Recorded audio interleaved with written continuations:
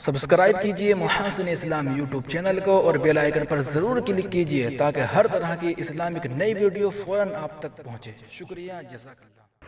مشہور عالم دین خانودہ قاسمی کے امین حکیم الامت حضرت مولانا اشرف علی تھانوی رحمۃ اللہ علیہ کے آخری شاگرد رشید، جانشین حکیم الاسلام، یادگار اسلاف خطیب اسلام، حضرت مولانا محمد سالم صاحب قاسمی رحمۃ اللہ علیہ۔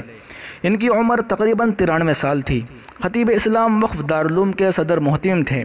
اس کے علاوہ ملک و بیرون ملک مختلف بڑی تنظیموں اور جامعات کے ذمہ دار اور رکن تھے۔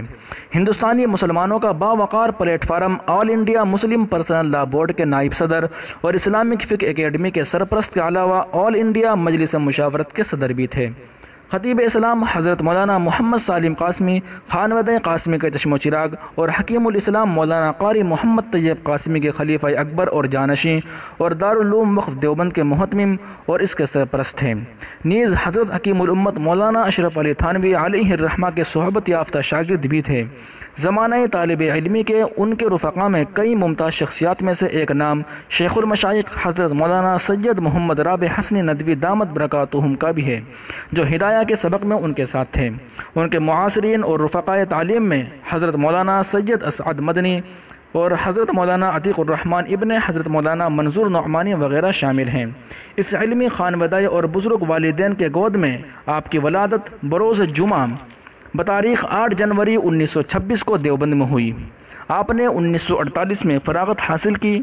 آپ کے دورہ حدیث کے اساتذہ میں حضرت مولانا حسین احمد مدنی، شیخ الادب حضرت مولانا اعزاز علی امروہوی، جامع المعقول ون بنقول حضرت مولانا ابراہیم بلیاوی اور حضرت سید فخر الحسن صحب وغیرہ شامل ہیں۔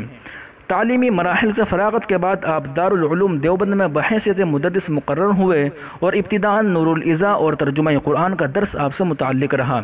پھر بعد میں بخاری شریف ابوداؤ شریف مشکا شریف، ہدایہ شرع قائد اور دیگر کتب آپ سے متعلق رہی۔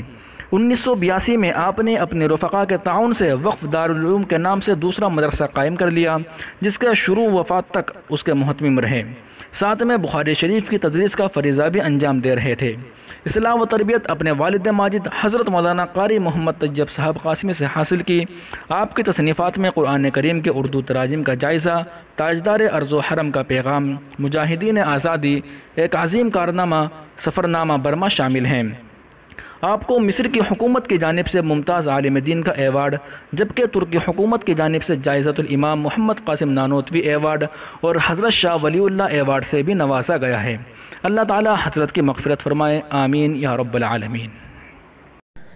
سبسکرائب کیجیے محاسن اسلام یوٹیوب چینل کو اور بیل آئیکن پر ضرور کلک کیجیے تاکہ ہر طرح کی اسلامک نئی ویڈیو فوراں آپ تک پہنچے۔ شکریہ، جزاک اللہ۔